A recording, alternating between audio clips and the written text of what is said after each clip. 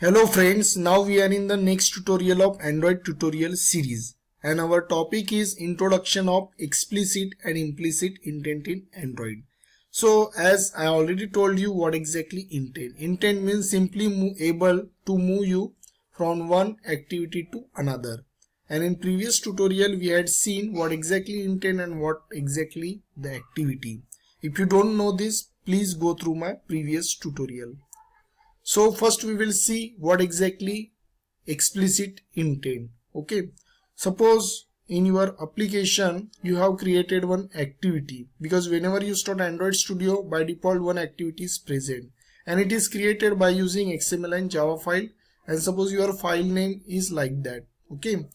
And suppose you want to add one more activity in your application then you may give the file name like that. For creating second activity also you have to use XML and Java file. Okay. So in your complete application there are two activity first activity and second both the activities are present in same application okay so you are moving from one activity to another activity and both activities are present in same application and for that intent is used and if you are doing this that is known as explicit intent.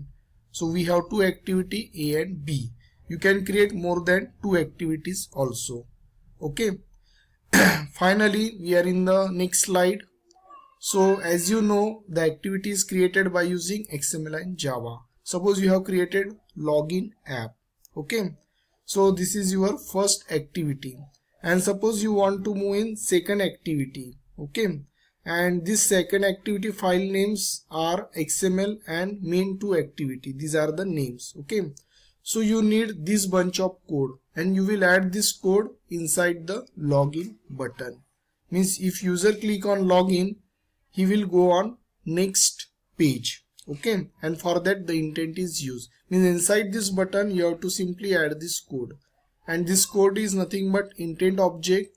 And here we are passing two values two parameter this in place of this you can write the main activity dot this also or you simply write this.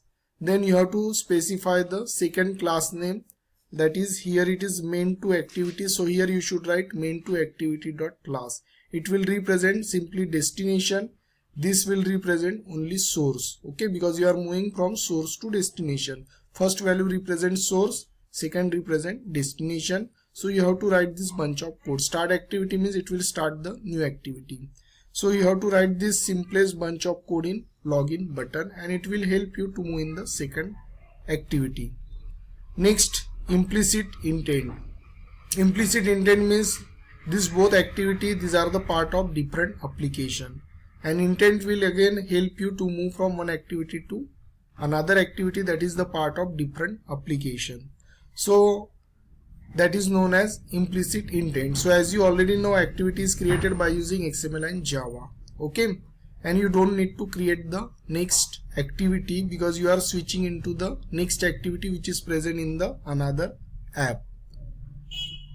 Then you need this bunch of code. So you are already in the first activity. It is created by using xml and java. You have created one button that is click here so inside that button you have to write this bunch of code. So if you click here it will open the next activity. That is the part of other application suppose you want to open facebook.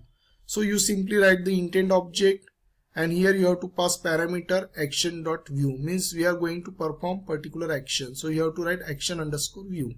Then this object you have to pass here i dot set data. You are passing we are using uri type of data. So that's why here uri dot parse and then you have to pass the value. Our value is facebook.com we are representing here complete url so it means you will move from this to facebook. Start activity means it will start the next activity. So this bunch of code you have to write inside this button. So you simply click here it will move on facebook. If you write here google.com you will move on google. Whatever website you will write here you will switch on that website. So that is simply implicit intent. So through this example uh, I understood, you understood, uh, I hope you understood both explicit and implicit intent.